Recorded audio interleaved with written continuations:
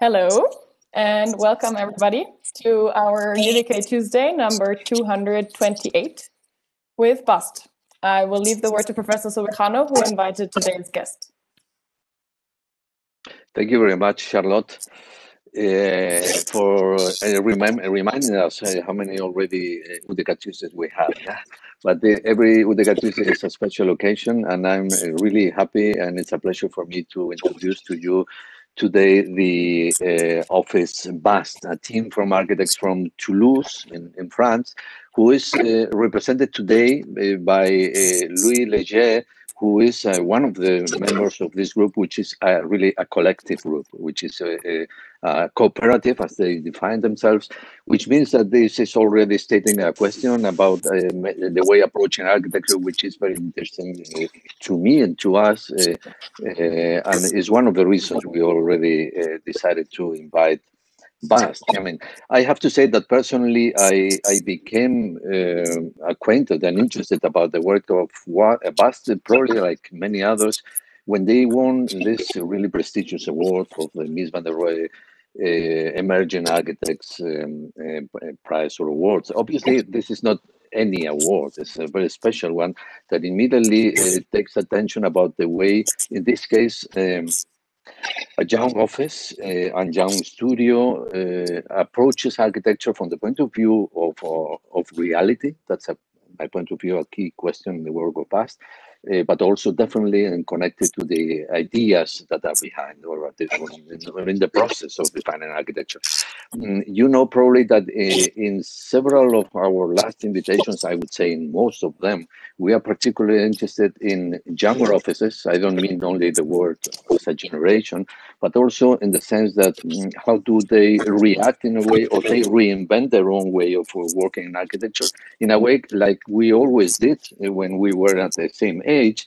But I have the feeling there is a difference nowadays in many European practices. Yeah, I, that I can remember, and some of them have been with us in France, in Spain, in the UK, in the northern countries, in Germany, in which uh, this collective approach is a sort of a common ground in many cases. There are other common interests that are very much related, in my point of view, to the value of construction, which is not only about an abstract relation to architecture, I, I tend to understand them as a sort of a balance, which seems to be so interesting between pragmatism or even a technical construction pragmatism and, and a poetic approach. I mean, and this sort of balance in a way defines, in my point of view, uh, many of these, uh, or several, not many, some of these uh, uh approaches, like the one of, of BAST, as far as far as I know it, which is uh, only briefly.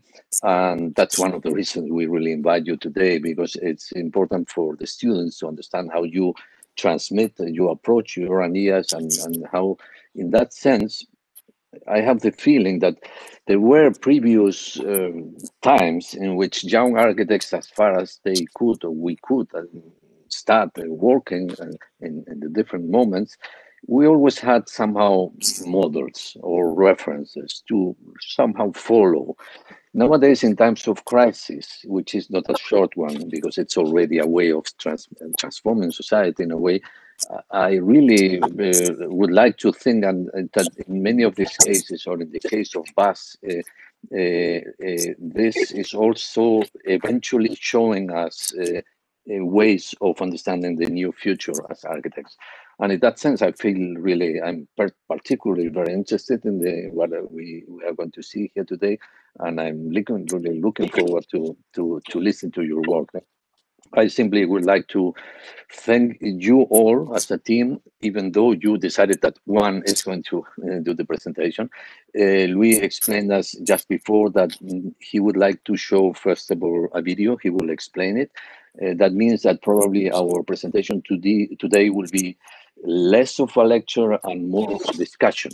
And this depends very much on all of you who are listening to, to the presentation today. I really hope that it's going to be like that and it will help us to, un to understand the, the, the, ideas, the work of, of BAST, which, by the way, as you probably know, it's it's an acronym uh, for this uh, Bureau Architecture Sans Titre, which is already, I don't know if it has a, a an intriguing meaning behind, but obviously relates to this idea of no title. And title recalls also the, the work of the conceptual and land art artists of so many years. And um, maybe you are interested in explaining also where it comes from. So, uh, Louis, thank you very much. Uh, and we look forward to your presentation. Okay. Thank you, Enrique. Uh, so I'd like to thank, of course, all the UDK Tuesday team uh, that make it makes it happen. Uh, it's a really good opportunity for us to lectures in general are really good opportunities to to step back from our daily work and and just to have a look at what we do and and find ways to to to show what we do. Uh, what is quite important about our work is is um, is that we face every opportunity to to to to make projects let's say. So this conference this lecture is called c18 uh, the reason is that it's 18 so 19 sorry. Is that it's the 19th conference we've done. Uh, it takes place in in all the names of projects we're running. Every project is named after um, a letter and a number. So this conference has been taken as a project itself.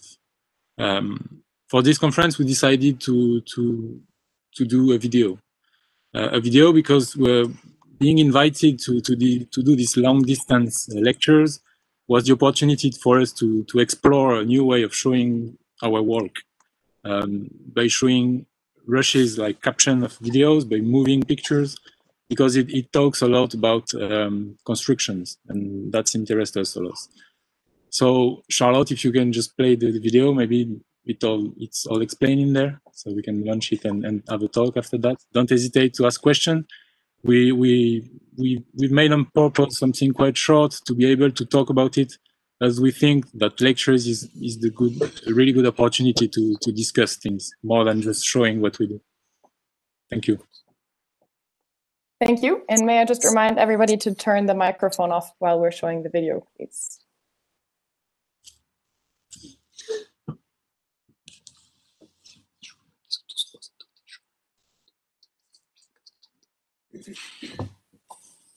BAST was founded in 2013 in Toulouse.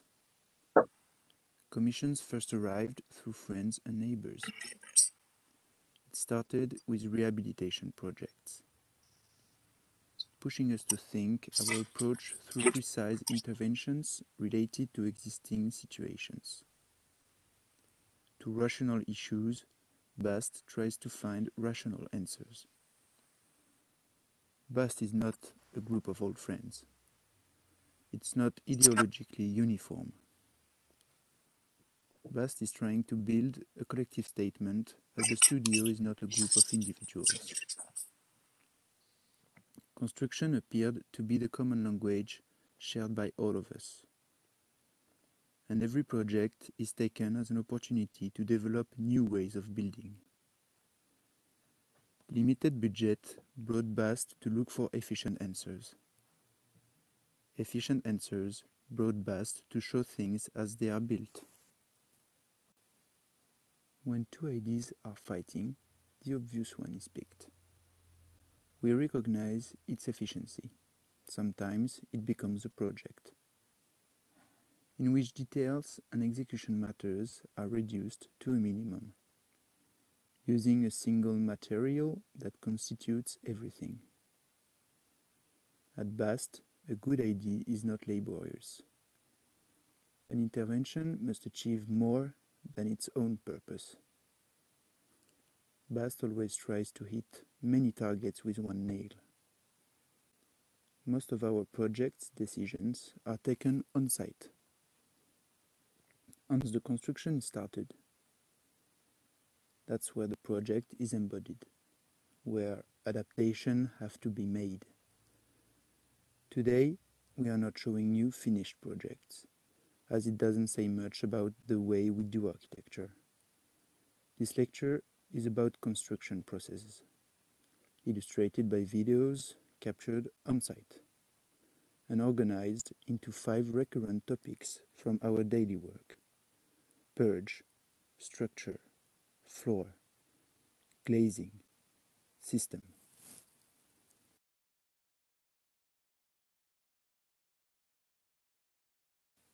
It often starts with demolition, by stripping everything to the bone, by revealing what was there, by discovering how things are built. And building is as important as any other step in our construction process. Working on existing buildings is a constraint that BAST try to turn to its advantage. We like to call them opportunities as they define a frame of possibilities that the project has to reveal. Existing features are understood as opportunities to give them new purposes. A window becomes a door by pulling down the window sill. A beam from a pulled down woodwork is used as a lintel. The former chimney becomes a light and air well. There are no small intentions. This step is also about taking off the layers that covers the essential. We developed a financial logic of putting more money into fine demolition finishes than in two fine finishes. The first being always cheaper than the second. Along with the craftsmen we are working with, we found methods to leave things as they are after demolition. Taking off an old moist render is easier by kicking with a standard hammer than with special purpose machines. It doesn't damage the brick either. Sandblasting existing old bricks is necessary to take off all the falling bits and dust. But it still needs sealant. Sandblasting wood is more efficient than sanding it with paper, especially when you have to treat the whole timber work. And the result is more satisfying too. We like to say that the first step is to build a ruin, keeping what would stay if the building was abandoned, what make it stands.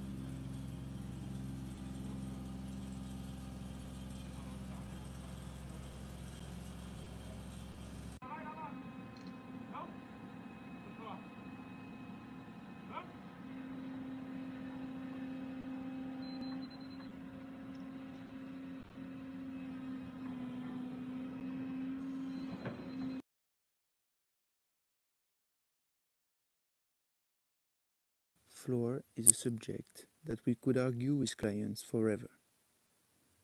We try to find ways not to spend too much time choosing something. Concrete is a good solution to solve many issues. It can be structural, it's flat, it accepts networks running inside it, and above all, it's cheap. Standard concrete can be a little rough when you simply pour it. The action of grinding and polishing transform it into a smooth surface. It also reveals what it contains, and according to the place it's done, aggregates and cement are always different. The heterogeneity of its revealed composition is also a good way to make all the imperfection inherent to such a floor disappear. cracks and bubbles become almost invisible. We lack the efficiency of transforming something rough and cheap into a convenient floor. In other cases, we look for materials coming from industrial processes, having the advantage of being cheap and again, fitting all convenient criteria. We recently discovered a double film face plywood used for truck interior fitting. One face is roughened not to be slippery, the other is smooth and resistant to moist and scratches. The advantage is in the fact that it comes already treated. No need to varnish or sand. The only action that have to be done is to cut it and fix it. Efficient. The project for our offices was the opportunity to try something that clients would never accept. The constraint there was not to lose an inch of height.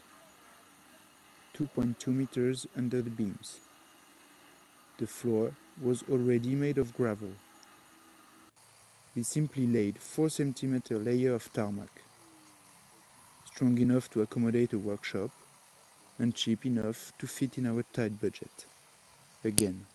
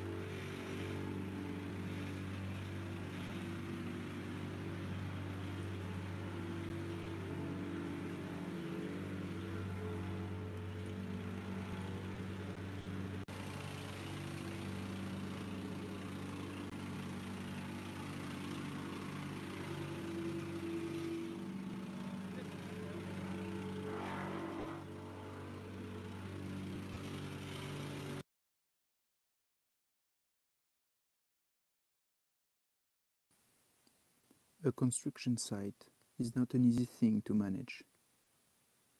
When we start a project, we always try to have few contractors building the project. It helps mastering the result by reducing interactions between workers. Our projects intend to maximize the tasks given to each of the contractor and are developed according to their skills. It's a way to optimize their interventions and presence on site. As structure is necessary in every construction, the mason or the carpenter often get the main roles. We put them in charge of things they are not used to, asking them to take care of the finishes as they will be left as such. It's always more challenging for a worker to tell him his work will be seen. It also constitutes a good method to get the best of him and to valorize his achievement. Materials used for structure are, in essence, made to last. We prefer to put more money in a well realized cement block wall and leave it as such rather than hiding it behind plasterboards. Avoiding interior fittings is a way to fit into a tight budget. Prefabrication is another way to achieve efficiency. We like to work with carpenter able to prefabricate framework structure. Assemblage details are simplified, systematized. Transport constraint pushes us to think rationally. It gives dimension and logic to the project. And a carpenter works much better in his workshop than on site.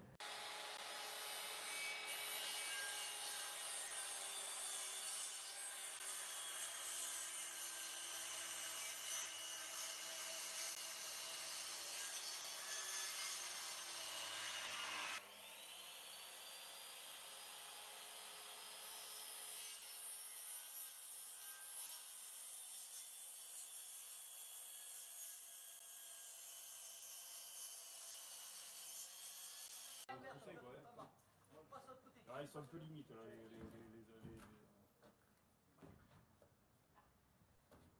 quand, il va y avoir le, pont, là, quand il y aura le mur, là, avec le poteau, là, ça lui fera du.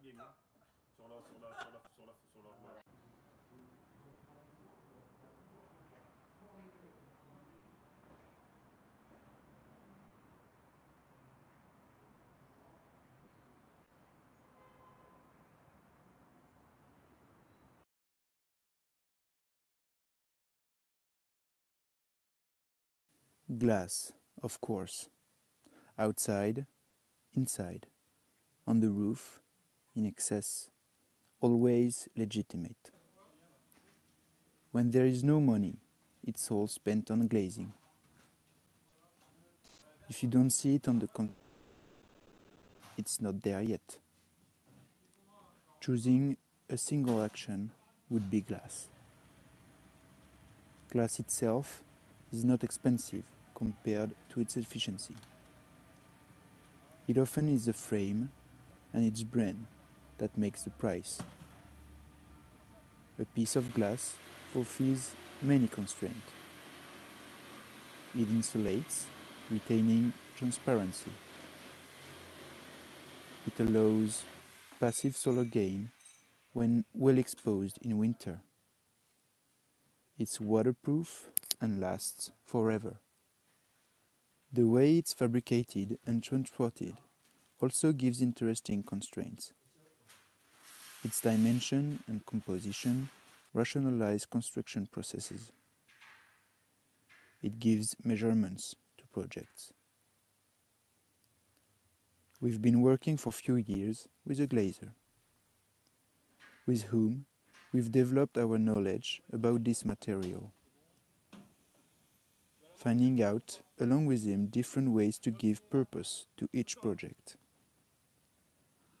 Trying different ways to fix glass directly to many types of structures.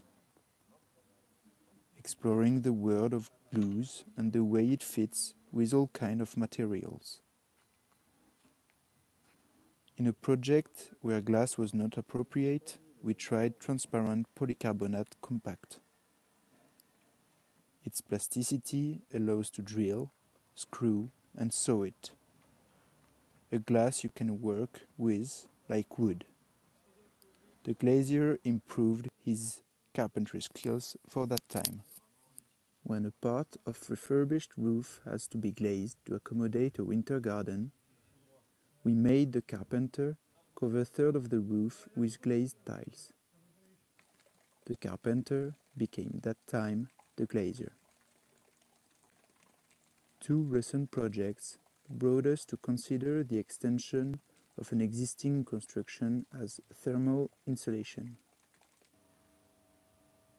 The opportunity to create more surface was taken to create another glazed layer facade.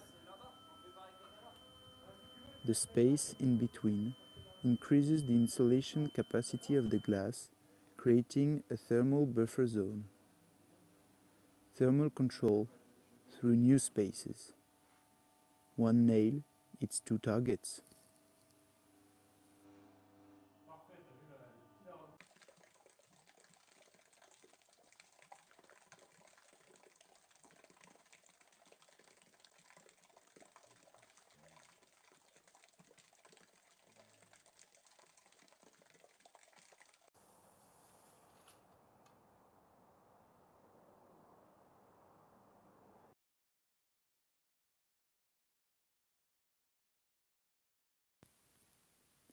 Our quest of efficiency brought us to think about devices that allows as much reversibility of use as possible.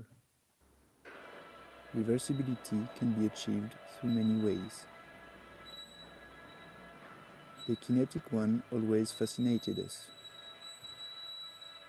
The fact that something can be there and a minute after be away fulfills the efficiency that our projects are seeking. It allows the cohabitation in the same place of opposites physical state only by pushing a button. Outside, inside. Cold, warm. Seen, hidden. Open, closed. Enlightened, dark. When an old couple asked us to accommodate more space in their aristocratic mansion to host their grandchildren, we answered by rehabilitating the unused attic space.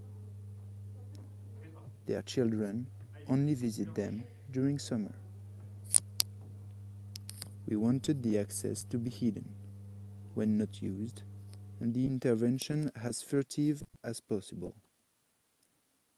leave the mansion untouched. The stairs to access the attic space goes up and down with a mechanized winch. The plot for an extension in the center of Toulouse was too small to accommodate the extension and exterior space.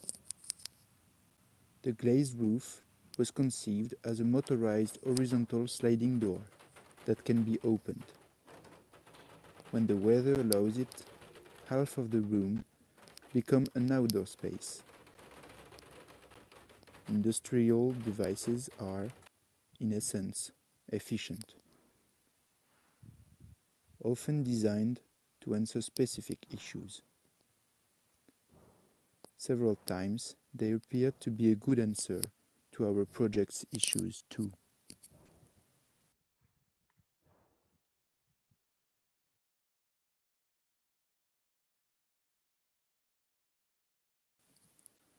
Our practice is about being concrete. Go straight to the point. Our daily job is about constructing buildings.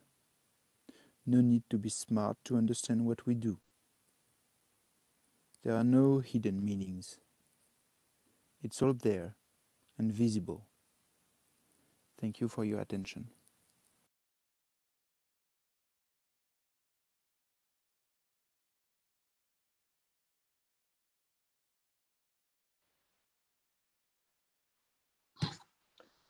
Thanks. Thank you very much, uh, Louis, for your presentation. Yeah.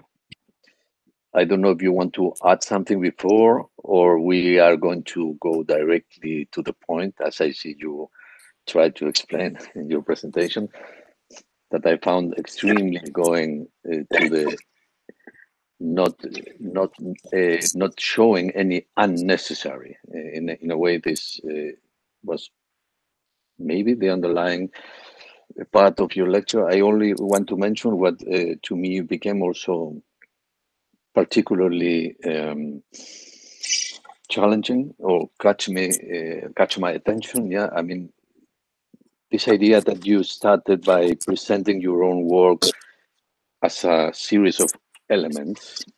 I I think you even mentioned the word element, and concentrate and, and, and particularly uh, focusing on, on construction as clearly became obvious and in the process, etc.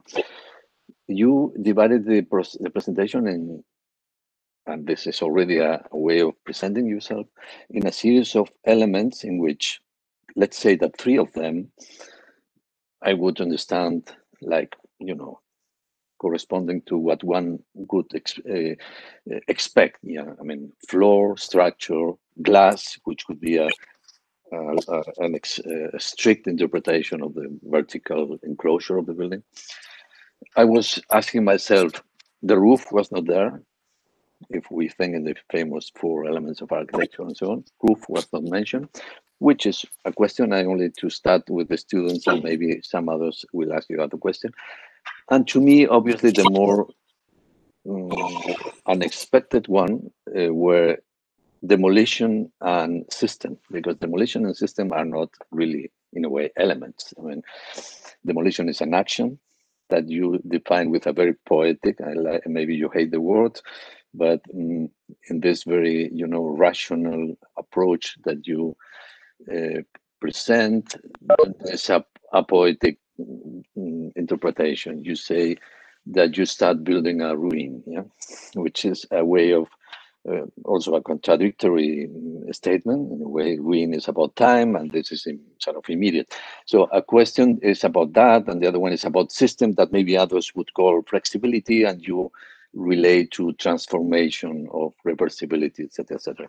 So maybe simply to start, I mean, this idea of building a ruin uh, uh, to uh, to me is extremely interesting because in this decision of what do you keep and what do you delete, there is always a limit in which you delete too much and then the meaning of everything is lost. Then it doesn't matter that you are refurbishing an existing building because you eliminate too much or do you limit do you eliminate mm, too too less? And in that sense um, there is something also in between. To me this is an interesting question and maybe um, simply to to to help the students to start many more interesting questions you can answer. Okay so yeah of course the, the, the fact that um, our everyday uh, job is started with rehabilitation projects is just brought us to deal with this question of existing buildings and and then um, the idea that we developed was like to face this existing situation and to find uh, um, what what was good to keep, as you said. Um, but most of the, the situation we're facing uh, are just telling us that most of it uh, is kind of useless, let's say. Um, of course, we, we in each time we, we face a project, we consider what could be kept to make sense according to the to the issues of the project. Um, but then often the answer comes back to keep the structure, uh, keep what makes sense the building, and and deal with it. And then all the interventions like um, modifi modification of the structures uh, are creating a discussion with the project most of the time is like that. Uh, so um, keeping a ring is to say like uh, it's a way to to to to to say like keeping the structure and and for us even in in, in what we developed after uh, is is about using the structure as the base as the as the white page you know um, and taking off what is let's say unnecessary and what has, has been put in through time and through through through all the, the intervention of people living in the places we, we're working on. You simply, simply simply to pass the word to, to the to the questions. When you mentioned this, uh, another question that was or an issue that to me was also uh, especially um, interesting to to to listen. You were talking about, about materiality, and you're talking about structure, and then you show how you cut a, a beam or whatever. And but at some point, the material is, seems to be not so important as the action that you do on it. You mentioned, for example, concrete is fine; it has it solves many things. But the polishing of concrete, this is an action, it's not anymore the concrete itself transform it into something different. Yeah. Do you think this is something that is behind your thought behind and your attitude or, or simply yeah of course of course. We, we, we really we really like like to value the action the, the, the let's say the construction process of modifying something raw something simple to transform it and give it another purpose. Like that's quite important. I mean we talked about concrete but it can be applied to any kind of materials in our work and especially linked to the to the, the exi an existing situation. It's like how to to give um, uh, another sense to what exists that is related to what already exists but then again uh, another another situation would be what to give a, how to give another sense to to a material that is cheap simple and and the action of a worker um, on this material can just transform it completely. And that interests us. And what interests us also is the fact that the, effic the efficiency of it. I mean the fact that a, a, a, quite cheap thing can be transformed into a noble thing by the action of a worker. And and i don't know if you figured out i mean you you did because uh, all the world video are just showing people we are working with all the all the workers and it's a good it's a tribute to them let's say because they are doing the the, the project more than us in a way. Uh, they are doing these actions we are talking about. We are supervising them and we we we are put we put all, all this action uh, on reality along with them. It's not only us deciding that. It's because we know that they know how to do that that we we decide with them to do it. So it's yeah it's quite important the action itself is sometime and most of the time more important than the material itself for sure thank you maybe charlotte you already have questions from the audience Thank you very much for starting those questions. Um, we are getting started with some questions from two of our bachelor students, Emily and Miriam. And I would like to encourage everybody who's watching to Sorry. First of all, I would like to encourage everybody who's not talking to turn off the microphone. and then I would like to encourage everybody who's listening to this talk to uh, formulate some questions and send them either through the YouTube comments or to the UDK students to send them through the Telegram group. And then we will forward them and ask them. So Emily and Miriam, up to you now. Okay, so first of all, thank you very much for giving us this opportunity to ask you different questions while preparing. And we didn't know the content of the video yet, so there are a few questions we have that are more general, but we also have coincidentally some questions that are also about the subject of the like construction process, but First of all, we want to start off with a question about um, your office, which is based in Toulouse. We want to ask about the particularities of Toulouse and what um, effect of re this region of France have on your architectural approach.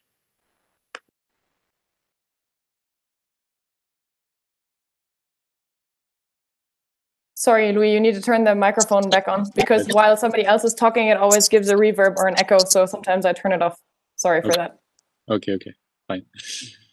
So uh, yeah, working in Toulouse is um, interesting for several aspects that I will develop. Uh, first of all, um, it's a small city. Uh, it's a city where um, living, like the cost of living is not really expensive. And that's a bit weird to say, but it allows young practice to to just try. You know, it allows young practice of architecture to just start and do project and take time to to develop the the, the their office. Let's say.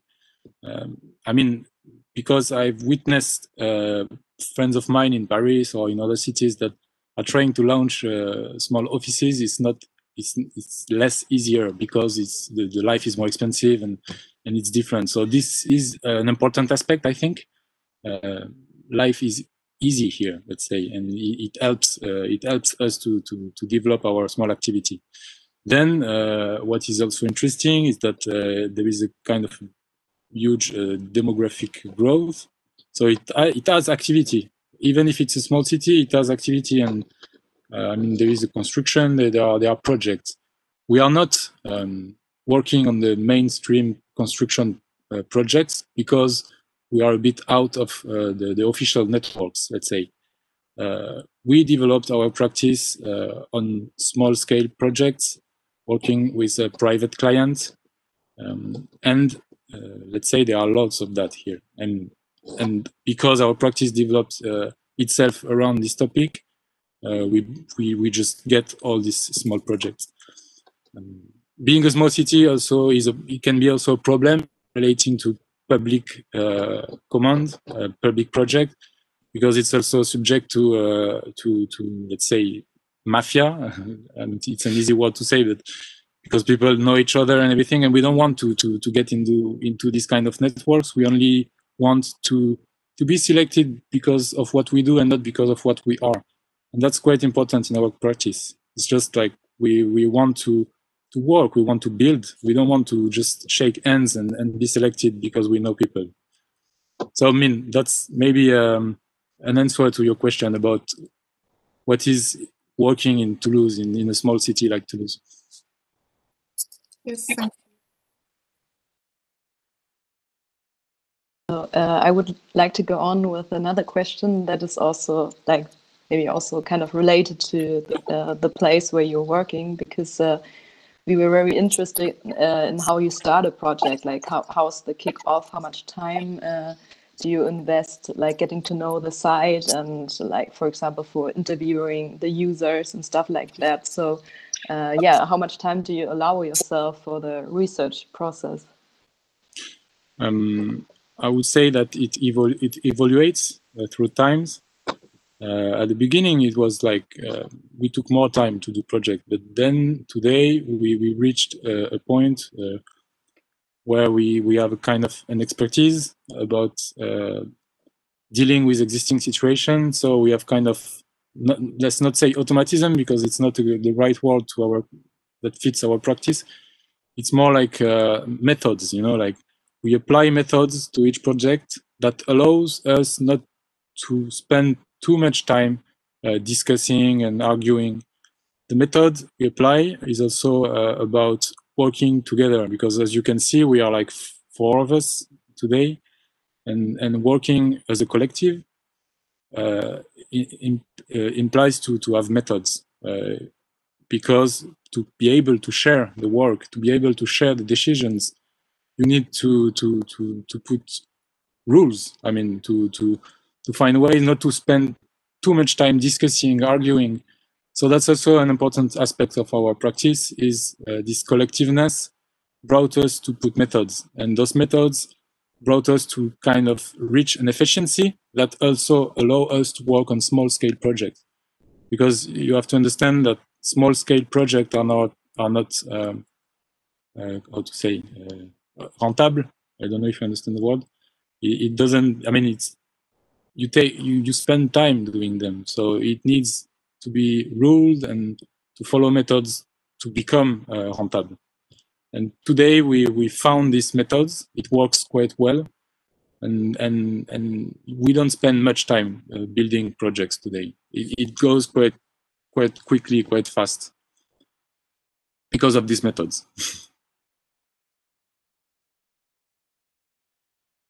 Right thank you So another question we had that also kind of fits in with the subject of um, construction or the construction process is that while researching, we noticed that like there's a difference in how you present yourself on yourselves on your website, how you present yourselves on, um, for example, your Instagram or this video today, which was more about unfinished works and the transformation process. And on your website, it's more these polished and finished, finished works. And um, obviously, we that um, you, your um, website and your Instagram, for example, cater to different audiences that um, are interested in um, different things. And yes, we wanted to ask yourself why the um, as individuals seek the value of your work, either in the um, building process and also the human interactions, or rather in the finished pro pro product? Yes. Hmm. Uh, uh, as you might have noticed that the lecture and most of the lecture we do are about construction processes. And as you said, the Instagram is about construction processes. I think um, our work is more interesting through this aspect than than the finished one. I mean, I mean, the, the point is that we we we we like to share all these processes as they talk about uh, as much as the finished one talk about our our practice.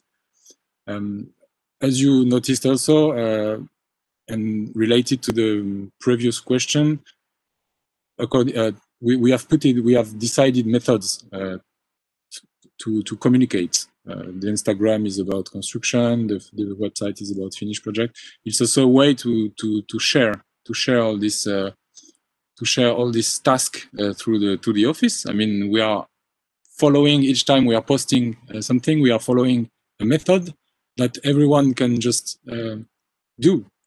and that's, that interests us because if tomorrow we are uh, just getting someone new in the office, you could just do the post as you do it because there is a method. And and uh, and the Instagram question is like interesting because Instagram for us is a day-to-day -day, uh, posting, and our day-to-day -day is construction, and the website is about uh, finished project. Our day-to-day -day is not about finished product. Our daily work is being on on on site, uh, being with workers be, being with them, making decisions. That's that.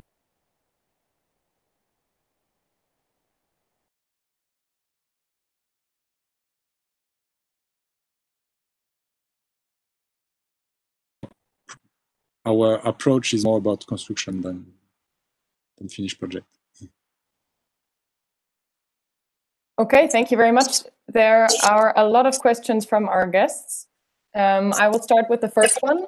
It reads, if labor is more expensive, okay, sorry, I'm going to turn the microphone off again. mm.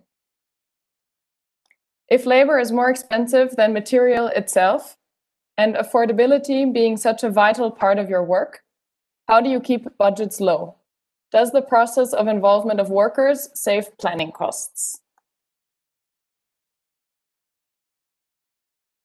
You need to turn your microphone on again. I think the idea is, I mean, and it's it's not so easy to to explain, but the idea is not to to be cheap for being cheap. You know, it's about finding ways to spend money where we consider like uh, the the values the value is, and for sure, what we consider is that the value is more into uh, the end of a worker than than putting money in a in a fine uh, material you know? And that's related to what enrique said at the beginning. It's like we we value more the action than the material itself. For us it's more important that that a worker um, spend time treating uh, standard concrete than uh, than buying a, a, an expensive concrete at the beginning. Because we, we we are interested in that. We are interested in these actions. And and so the answer is that we prefer to value uh, handwork than than expensive materials for sure.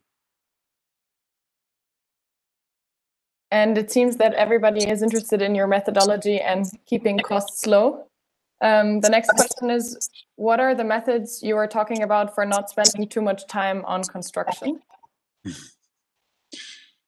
um, so it's like, uh, okay, not easy to explain and to develop. Uh, on site, I mean, we have like standards methods that that that says uh, one we go on site one time a week. We don't spend too much time on the work site. We we just uh, focus on the, on the important task. We we focus every time on on what is problematic.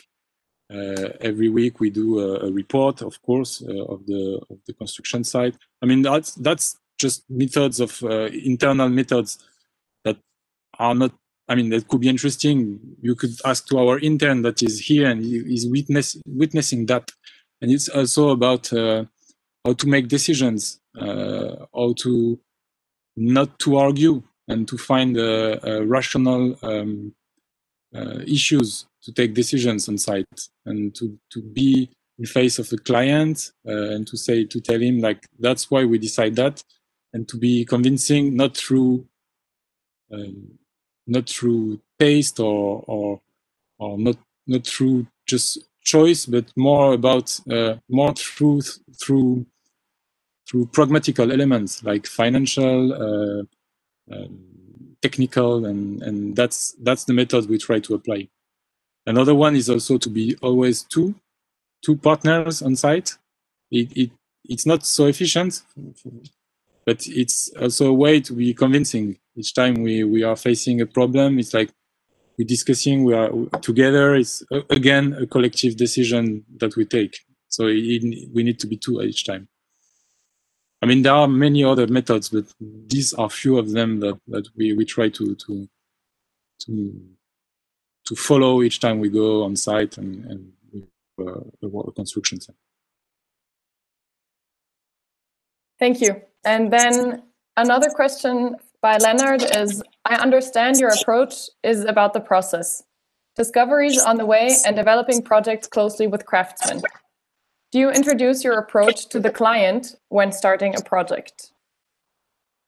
Yeah, yeah, of course, of course, we, we do, and it's quite important uh, for us to to make them understand, for example, that according to each project, of course, it's often different, but most of the time we explain them that they if they come to us is because they are just uh, asking us to apply our method on their project. And so we, ex we explain our methods.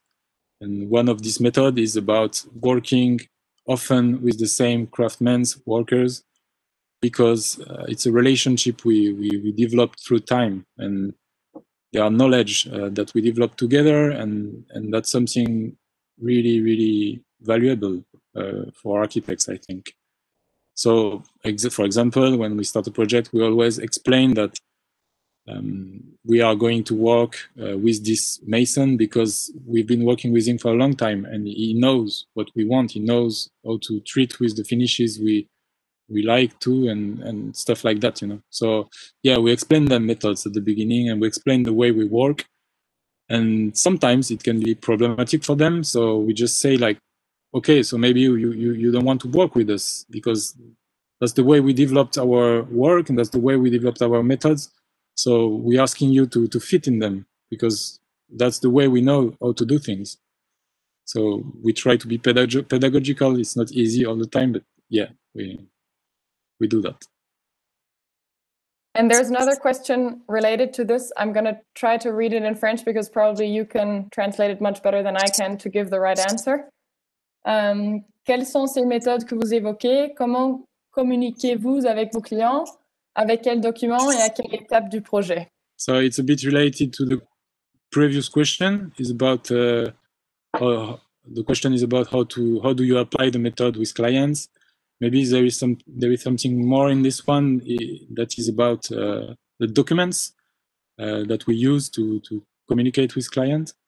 Uh, again, uh, all the documents uh, we try to develop are following a method. Um, it's it always starts with a feasibility project that follows uh, graphic rules that we established all together using representation methods that we considered uh, the more efficient for a client to understand projects. It goes through plans, sections, and axonometrics.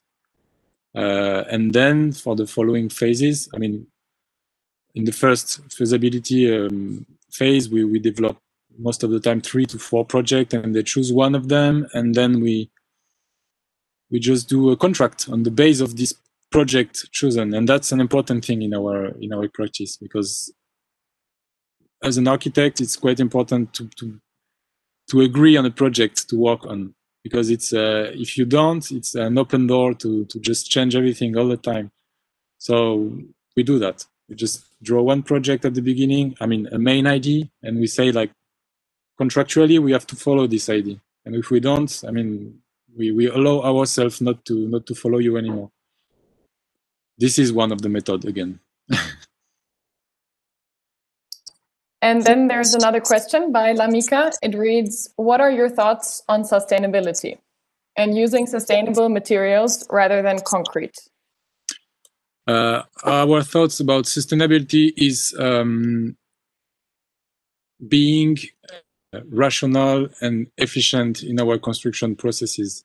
We don't um, we are we don't have the, the expertise of using uh, ecological materials or devices, but what we try to do is to to to reach an economy of means more than um, more than uh, uh, an ecological gesture. We, we, we don't put we don't try to put too much. All the time we, we face a project we, we we try to put as less as possible. That's already for us being architect that don't have much knowledge about ecological devices it's already a kind of a, a movement towards uh, ecology being economic. It's a bit different for sure but that's the way we we we understand uh, sustainability is is not to over to overload the project of intentions but more focus on one intention and and one action that by its by its uh, by essence just go to the minimum and being minimum is a sustainable sustainable gesture for us. I don't know if it's satisfying but and if you say that you know little about um, ecology do you think this should be part of future studies of architecture for all of us students who are in this chat and in this lecture? Ecology I mean, ecology can. I mean, it, it it's also it also bring a lot of lot of things. I mean, it's are you ecologic through the materials you used? Are you ecologic uh, through the way you live? I mean, it's it's a it's a difficult question because uh, most of the time ecology uh, is asked by is asked by clients because they want to be uh, ecological. So I mean, it's it's it's, it's not. Yes, we, we could learn how to build ecologically, or, how to conceive ecologically. But then, uh, if you just do that and your life is not following an, an ecological uh, um, way of living, it doesn't make sense. I mean, that's that's the problem for us with ecology is that you have to to to spread it all over. If you want to be to be honest with yourself, you have to to to do it in every scale of, of your daily life and and some of us can and some other cannot because of cultural matters and, and, financial matters and all these things. So i don't know. Yeah we, we could of course it's important to to teach ecology. But then it has to be in a i think for in a in a kind of rational way or pragmatic way let's say. Yeah. And then somebody uh, would like a book about your methods, which is linked to the next question by Joao, who reads um, So basically, you have a methodology that allows your office to speed the process in order to make those small projects profitable, right? Yeah. Yeah, that, I mean, that's a, a question. uh, Maybe the question already answers it, but it's probably um, aimed at your methods yeah yeah it's it's just i mean it's not it's about being efficient and it's i, I think it's about uh, it's a it's a world way of thinking that that brought us to this efficiency. Being efficient seeking for efficiency in project brought us to be efficient in the way we do them. And that's quite interesting. It's uh it's the way that uh, what we want to do become the way we do things. And for instance it works. So it's quite yeah satisfying for us. And it uh, what is interesting is that it, it allows us to to live. And it allows us to to have pleasure doing what we do. And that's i mean that's something we haven't talked about and we don't talk much about but it's quite important in in our daily daily work is to just not to get bored you know? It's just to have fun in in do by doing architecture just to to go to the office and just enjoying what we do and and that's why also we face every every opportunity to treat it as a project. That's why we've done this video today because we we like to to experiment. We like to to to go over a bit every day to go to get over what we do all the time. I think that's the perfect answer to lead to the next question, which is Are you trying to include yourself in the active building process as well? Uh, we do, we do, uh, because um, for many for many reasons. Uh, one is that uh, we are under a society of rules and of of of, of being scared of of, of the, the the results of things we are doing. So there are many things in construction that workers don't want to do because of that. I think we think it's a shame. Uh, so for a few matters, we just put the, the hand on, in the mud because we want to achieve uh, the, the intention. That is a good one for us. But because workers don't want to do them, we just do them. For example, like networks, we we we go on site and we cable the the the, the switches or or sometimes we we I don't know we, we do things yeah we do things we go on site and and we spend time doing stuff on site. and then perhaps another question to your team. Timo asks, how did you find together as a collective and which parameters were important for the foundation? Um, to answer this question, I think we can come go back to the to the, the acronym of, of the of the office, BAST, Bureau Architecture Centré, sans titre, was the, the, the, the, the foundation idea of not being uh, not being let's say individuals. Uh, and that's what Enrique said at the beginning. Like I, I, I, I just before starting I, I told like it's not important that to say that I'm Louis Léger because it's BAST that that is more important. Is the the, the collective uh, as as a collective as as an entity as as as a group of people uh, able to to do what we do. Uh, I would be alone. I wouldn't do what we do for sure. Uh, so yeah, collectiveness is is one of the keys of of our of our practice for sure. And it's also um, at the beginning, and and we evaluated a lot. Uh, I wasn't there at the beginning. I joined like uh, two years after the foundation.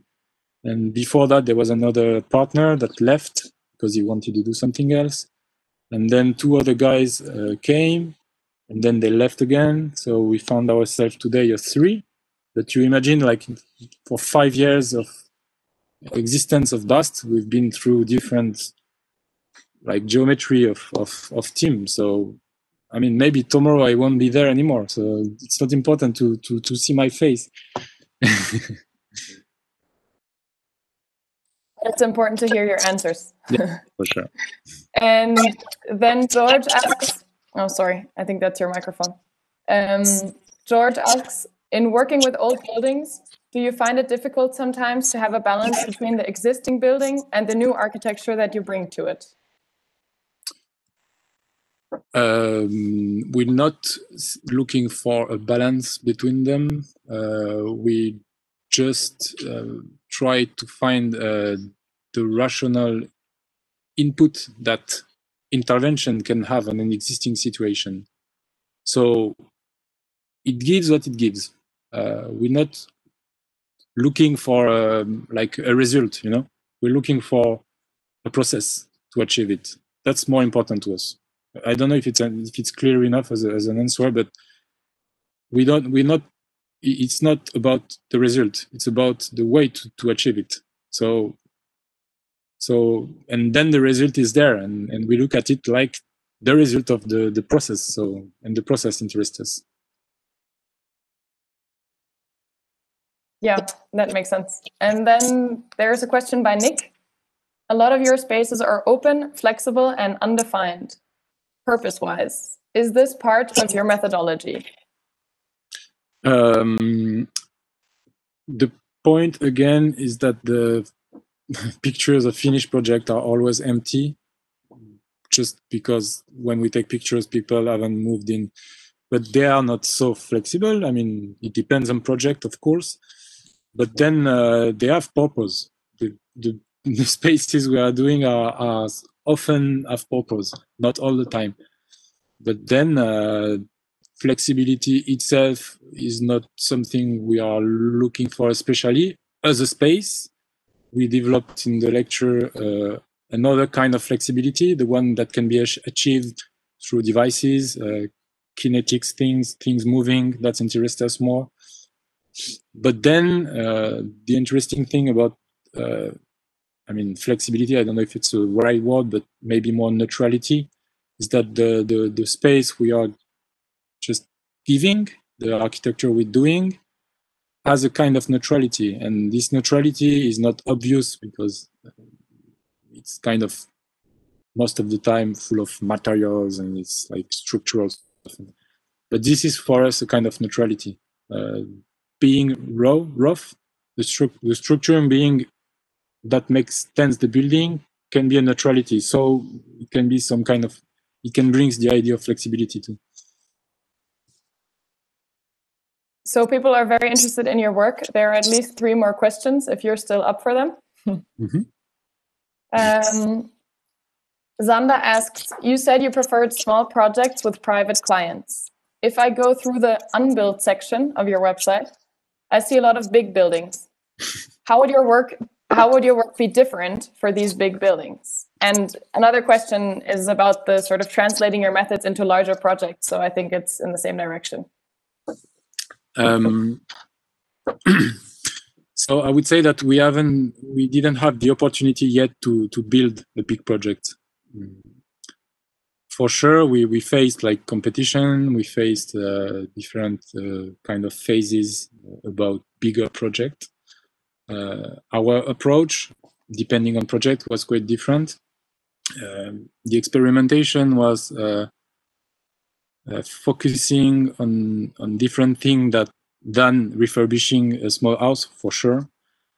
But then trying also to to to to get over some some let's say uh, everyday uh, understood things of architecture. Like it's it was about uh, prefabrication a lot. It was about uh, um, financial uh, balance of traditional way of building and different way of buildings and finding a, a way to con convince the, the, the clients to to go in the direction of because that's the problem of big project big project with a lot of money, it's difficult to take a risk to experiment things that haven't been done for sure.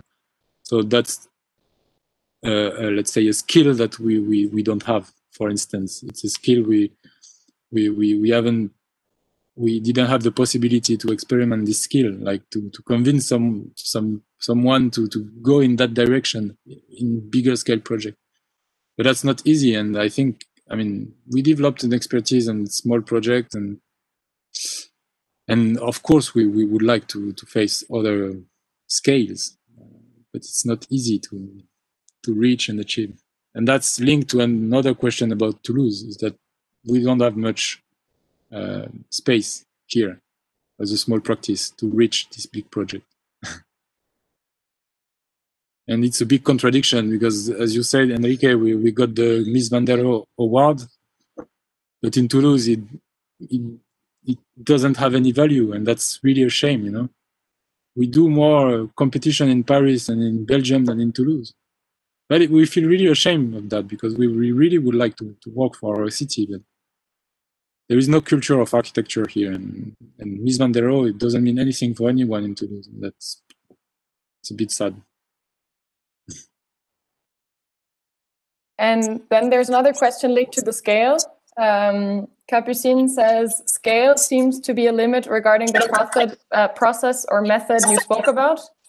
Have you ever experienced a larger scale? Well, you probably just answered that, um, of construction. And how do you react to its constraints? So maybe the question is also a larger scale, what would it allow you to do?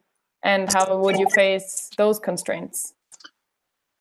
Uh, I mean, we can be, uh, we can just can only be a fantasy, for instance, because we, as you said, we haven't faced a bigger scale project. But uh, yeah, I talked a bit about that. Uh, I think it's all about uh, trying to systematize um, the way of building. We like the idea of of finding uh, like one detail that solves everything. You know, it's a bit like what we try to do in in small smaller scale project, but that would be interesting to to to put in a bigger bigger scale, and that could make sense for us to to to to try to work on prefabrication, uh, ration, rationalization of processes, stuff like that. That would be that would be an, something that interests us. Again. So I would like to um, invite the audience to ask last questions if there are any other questions in the room. Otherwise, I myself have one, which is also about what you just said about Toulouse. If you find that it's a place um, where there are no competitions happening or where there is not a lot of culture of architecture, what you just said, do you see yourself in a role that you could promote and a value for architecture? Or are there any events or talks or something that you're trying to do in order to bring more culture of architecture to Toulouse? Uh, we did, but we stopped because it was a big, uh, was a lot of energy, and we prefer to spend uh, to spend energy in uh, in the practice because it became uh, kind of more more and more efficient, and we had more and more work. But yes, we did. We we we we, we were in the um, Maison d'Architecture, which is like the the local, uh, let's say, house of architecture which is a little, a really small uh, cultural uh, center. Uh, the aim is to promote the the culture of architecture, and at the time we we invited architects from all around Europe to to to do to do lectures, but then uh, you can imagine that one day we invited uh, Oliver Lutens and and and, and Pan Manaban, and we they arrived in Toulouse for the lecture, and there were like four people in the room. We like we were like just what's going on? Like it's like even this the architecture school doesn't push students to go to to the to this lecture. It's like so it's just it's just I mean I don't know. it's a bit. Uh, it was a bit uh, energy uh, and also a bit a shame for people who invited not to be um, not to have people listening at them. So yeah i mean that's something that doesn't really exist in toulouse and that's it. I mean and that's why we are looking we are communicating trying to to, to break the, the, the, the borders and just to go over that and, and to to to to be more in this kind of event than than the one in Toulouse because for us it's more interesting and we, we, we feel that people are more in, interested abroad and in other places than in Toulouse so that's fine to us okay so there are two last questions um, Bruno writes do your plans concepts ever completely change based on elements you discover within the already existing buildings or structures you work with during the building process? Sorry, sorry, can you repeat again? I didn't hear the. Yes.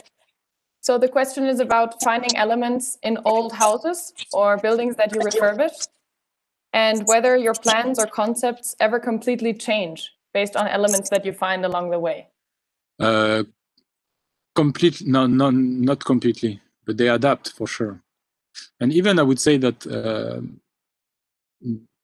uh, uh, uh let's say a, normal architect would do a, a, let's how we call it a tender tender tender call before starting a project by drawing all the details and and being sure that the the, the company or the, the workers are doing properly what they wanted to do we don't do that we just like the tender call is that the drawings are really kind of nebulous you know they are like more ideas. And then when we are on site, we precise things. And, and that's the adaptation we, we do. Uh, we don't go too much in detail through the study phases, but the details uh, are embodied in the construction phase. So it adapts. It, we don't change the whole project because we discover something, but we adapt it. And it often works. And then there are two questions related um, to your references, what architects do you look up to, or which references do you frequently use? Uh, we we we look we look at everything. Let's say we we just like uh, really uh, trying to be up to date to what is done uh, today, what has been done in the past. We we don't have specific reference. We always uh, look for for specific uh, process, uh, not process, but construction details in every architect arch architecture that been done, without uh, without being judgmental about everything has been done. It's just we are going to to look for a detail to to find it inter- finding find the detail interesting, but not uh, the whole production of the architect. Is is that's the way we we deal with reference. And then also we have this uh, this really strong um, uh, curiosity about vernacular uh, architecture. Again, about details, about the way things are built, um, not as a world, but as a as principle of construction that we take and we can we can look at them and that gives us ideas to, to develop things in, in our way. And then there's a last question, perhaps also in this direction, by Kramer. How much do you see yourself as part of a French movement with Voltaire, Lacaton Vassal, Studio Muoto, for instance, that some call new realism? Uh, um, I mean, that's let's say satisfying because all these architects are architects we really appreciate and we really like what they do. But then again we, we don't want to to put a name in what we do because i mean ourselves if people say say it it's fine to us. And then but we are not able to to call ourselves anything. I think we are just let's say we are just doing what we do and then people who are able to to theorize uh, what we do can can do it and just can bring relation to to to all these other practices but then for sure we look at what they do as, as I told you, we look at the way they build things and the details and everything. And, but then we, I mean, it's fine to us to be that there is a, an, a rap, rapprochement between us and them. But this this is not something we are looking for. So. Okay, thank you. And then a last comment um, that building something offbeat wrote on YouTube is keep your scale. We love it. So maybe I'm going to pass the microphone to Professor Sobejano to conclude the talk. Um, thank you very much, Louis, and thank you. Thank you, Charlotte.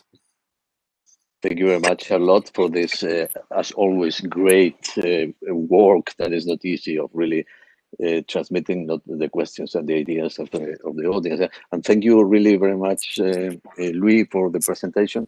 I think you uh, you have been coherent uh, in your first statement from the beginning till the end. I mean, this sort of even naked expression of, of a project without narratives or metaphors going to the point that interests you with this sort of even physical relation to construction, you know, that we all wonder and look forward to see when it breaks the scale. Because you said you are uh, you are not in the official scene, maybe not in Toulouse because nobody is a prophet in his own land, but you are definitely. Uh, the reason is that you're here.